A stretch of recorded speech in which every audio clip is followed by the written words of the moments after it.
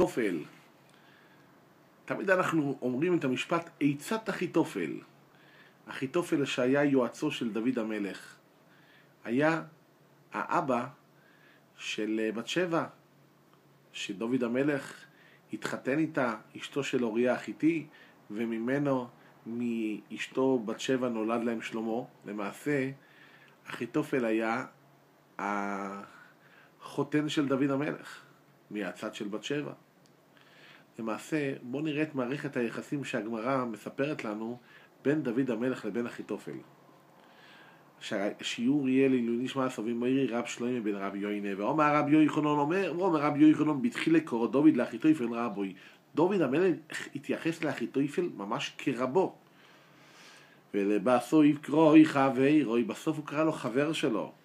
ולבסוף קרוי תלמידוי בסוף הוא קרא לו תלמיד שלו פחות ממנו בהתחילו קרוי רבוי, בהתחלה הוא קרא לאחיתופל, דוד המלך קרא לאחיתופל רבוי, איפה, איפה אנחנו רואים את זה? בתהילים. איפה אנחנו רואים את זה בתהילים שהוא אומר, ועתו אינו איש כערכי אלופי ומיודעי, ממש התייחס אליו כרבו ומיודעי. יותר מאוחר, ולבסוף, קרוי חברו, הוא קרא לאחיתופל חבר שלו. למה חבר שלו?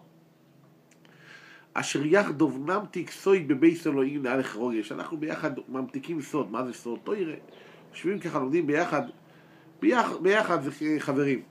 ולבסוף קוראתי תלמידוי. מה זה תלמידוי? גם איש לא עמי, בעצם חברי, אשר בוטחתי בו, שהיה לי אימון בו. יגדיל אוי חלחמי, הוא לומד את התורה שלי, יגדיל לא ליוקב. למעשה שם לי מערבים, למעשה הרי למעשה הוא הלך עם אבשלום הבן של דוד המלך ונתן לו עצות איך להילחם עם דוד, לבוא באותו לילה, איך אומרים, ולגמור את דוד.